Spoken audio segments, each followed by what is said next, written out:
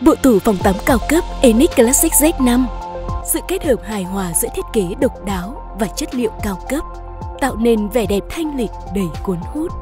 Nét đẹp giao thoa giữa cổ điển và hiện đại làm nên một tuyệt tác mang tính thẩm mỹ cao cho không gian phòng tắm hiện đại.